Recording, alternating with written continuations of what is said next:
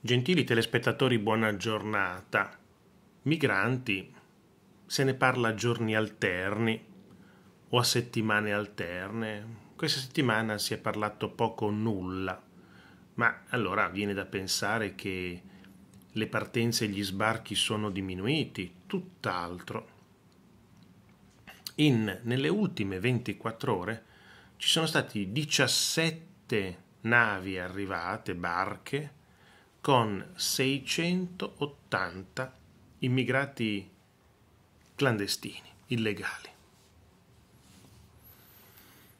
Stiamo parlando di una media tra i 200 e i 300 mila arrivi solo, gli, con, solo facendo una proporzione con una proiezione solo con gli arrivi delle ultime 24 ore si parla di 200-300 mila in proiezione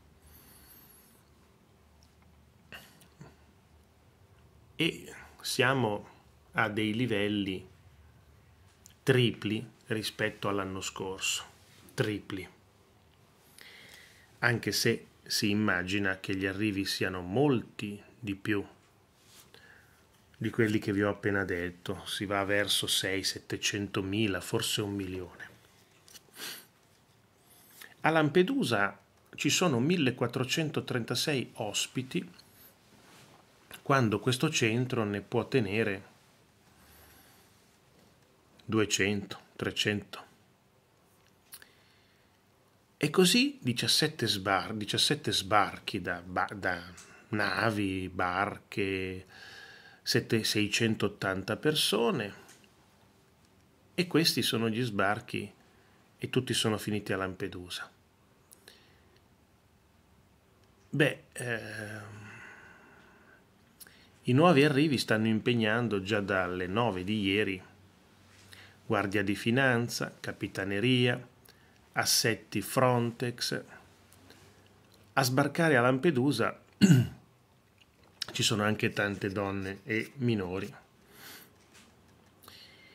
Beh, ieri sono, eh, sono, dicono quelli che arrivati ieri dicono di essere partiti da Zarzis, da Cebba, da Gebiniana, da Kerkenna ed aver pagato fino a 4.000 do- dinari, non dollari, 4.000 dinari per riuscire ad arrivare in Italia. Dobbiamo precisare che si è parlato di 8.000 euro a traversata, no, sono 800 euro, hanno messo uno zero in più.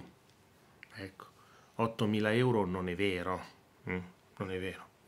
In alcuni casi ci sono delle traversate più costose delle altre perché i trafficanti fanno anche diverse categorie di partenze, no? quelle di lusso, quelle un po' meno, quelle economiche. Una partenza media, una partenza media dalla Tunisia costa 800 euro, non 8000 euro. Chi, dove li trovano 8000 euro? Parliamoci chiaro. Altri 47 migranti sono stati trovati dai carabinieri mentre erano sulla spiaggia di Cala Pulcino a Lampedusa.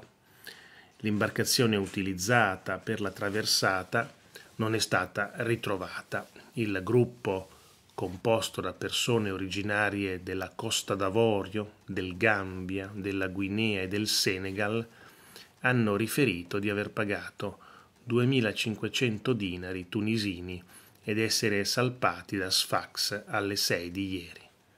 È il tredicesimo sbarco dalla mezzanotte per Lampedusa. Ehm, che cosa può fare il governo con queste con tutti questi arrivi? Il governo dice l'Europa deve fare il blocco navale, ma non lo farà mai l'Europa deve fare una missione navale per fronteggiare, um, fronteggiare non si sa bene che cosa, no? per sorvegliare, ma che cosa? Cioè, quindi una missione navale militare è uno specchietto per le allodole per i votanti, no? per il popolo votante, perché una missione navale nel Mediterraneo non serve a nulla, perché che cosa che cosa fa? Vigila che cosa? Ecco, quindi che ci sia la missione navale europea, una missione navale di controllo. La missione navale non può fare altro che aiutare i soccorritori a individuare le barche e a farle portare a riva. Quindi non risolve assolutamente nulla. E allora eh, il decreto flussi. Il decreto flussi è una sanatoria per quelli che sono già qua in, in Italia. Legalizzi persone che non hanno i documenti per sfruttarle, mandarle a lavorare nei campi, sottopagate, eccetera, eccetera. Il governo dice facciamo nuovi centri di accoglienza. Nuovi centri di accoglienza non risolve minimamente il problema degli arrivi.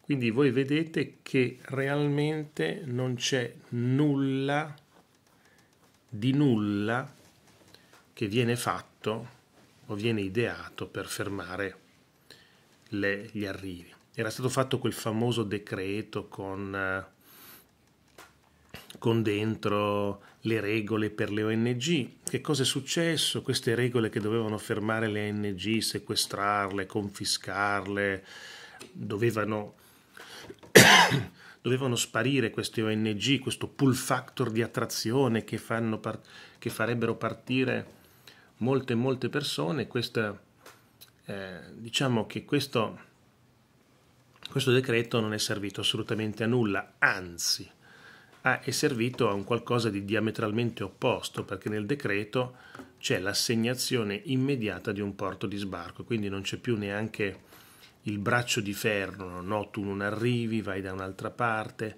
e questo è stato fatto per non innervosire l'Europa e per permettere in Europa di vincere la Meloni alle prossime elezioni con i conservatori. Quindi tutto viene fatto per non molestare, non dar fastidio all'Europa per poter vincere le elezioni.